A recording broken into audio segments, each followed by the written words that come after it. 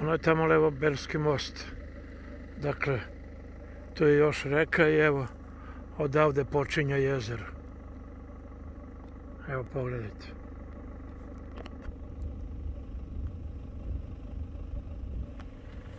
Ovo je Belski most.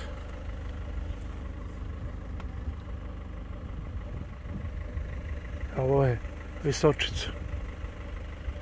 Jezero počinje tamo od one krivine. Skoro je to.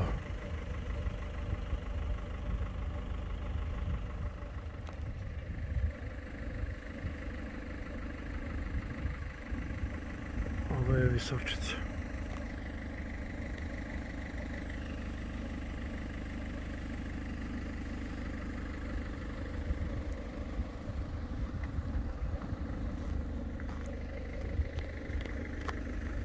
To je put Izabelo e Gostucho.